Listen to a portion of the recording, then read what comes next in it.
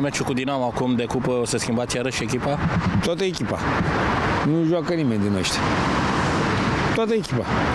E un test pentru jucătorii pe care îi veți băga Dinamo să arate că au valoare? Păi acum, să, acum să-i vedem. Hai să-i vedem acum, nu? Hai să vedem acum. O să joace. Toți, toți o să fie schimb. Niciunul nu va juca. Din, din jucătorii de aseară, niciunul, numai ăsta, Târnovanu, atât. În rest, nimeni nu va juca. Dar cupa este un obiectiv? Este obiectiv. Păi de de sunt fotbaliști.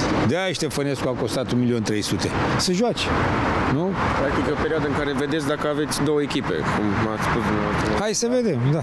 Hai să vedem. Meciuri multe. Să vedem. Acum Testele vedem. de, de genul ăsta sunt și, nu știu, ca să vedeți în iarnă care vor mai pleca, care vor mai Nu, rămâne, nu, sau- nu, nu, că avem nevoie. Probabil, adică dacă e să mai vină ceva de plecat, ce să plece? Că sunt toți jucătorii care sunt la ora asta, chiar și la echipa a doua, nu este niciunul care să spun vreau să scap de ăsta. Adică eu au o anumită valoare, nu știu cât de mare, acum mai testăm. Că acum, de exemplu, o să joace Batem, ca să-l vedem și pe el, adică a intrat bine, a jucat bine, ne-a dat gol, ne-am calificat, îi mulțumim. După aia, cam moale, adică probabil și din cauza antrenamentului, acum să-l vedem.